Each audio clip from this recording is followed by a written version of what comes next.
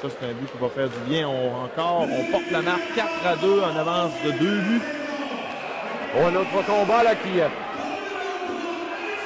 va s'exécuter au centre.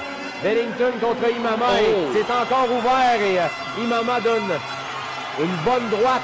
Harponne là, son joueur devant lui pour faire chuter Bennington sur la glace. Les deux joueurs qui ont quand même porté quelques coups intéressants.